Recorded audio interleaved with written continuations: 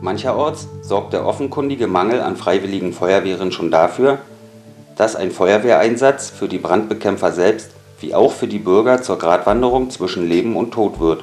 Gerade deshalb ist es sehr wichtig, dass besonders die Feuerwehren in Mecklenburg-Vorpommern verstärkt gefördert werden. Darum nahm die NPD-Fraktion das Heft des Handelns in die Hand.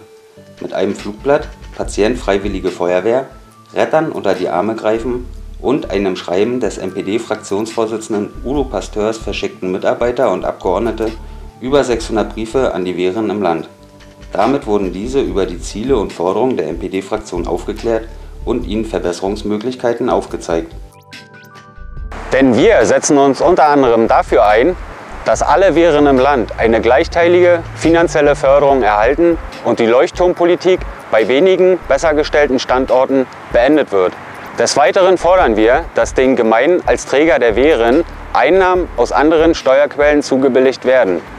Schließlich ist die Feuerwehr auch bei Verkehrsunfällen und Schwerlasthavarien im Einsatz. Das Flugblatt sowie weitere Informationen finden Sie auf unserer Netzseite sowie hinter diesem QR-Code.